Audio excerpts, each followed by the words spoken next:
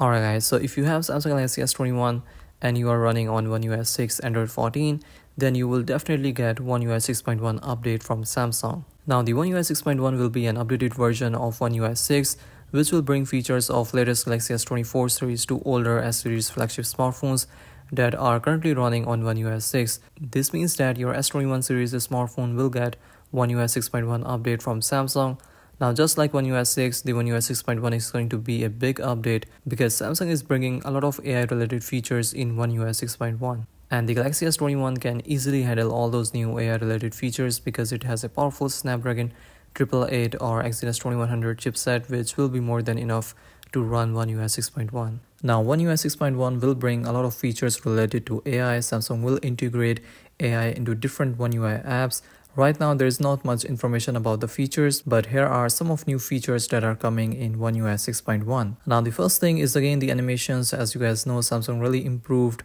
the smoothness of animations in One UI 6 and now in One UI 6.1 they will improve the animations even further to give you a better and smoother One UI experience. The One UI 6.1 will bring AI generated wallpapers to Galaxy smartphones.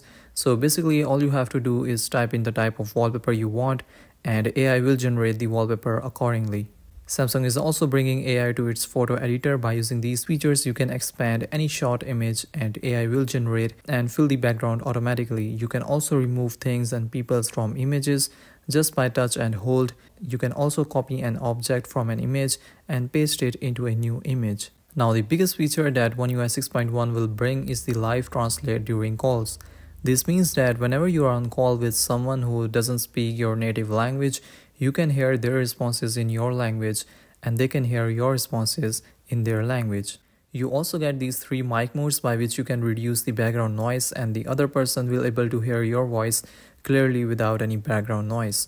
The One UI 6.1 will bring a battery protection setting which will save your battery and also improve the overall health of your battery. Now these are some main features that are coming in One UI 6.1.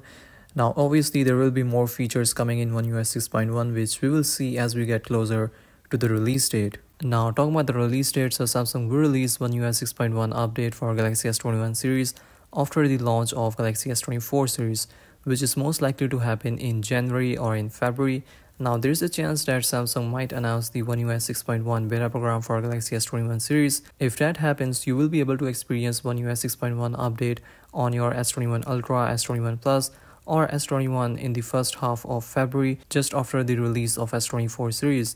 But if you don't want to download the One UI 6.1 beta, then you will have to wait for a few days because obviously Samsung will test the One UI 6.1 update for Galaxy S21 series to remove any bugs and issues and then they will release the stable version of One UI 6.1 update for Galaxy S21 series by the end of February 2024. So all you can do right now is wait till February because that's when we will see the official and the stable One UI 6.1 update. So yeah, that's pretty much it from my side. Give this video a thumbs up and I will see you all in the next one. Peace out.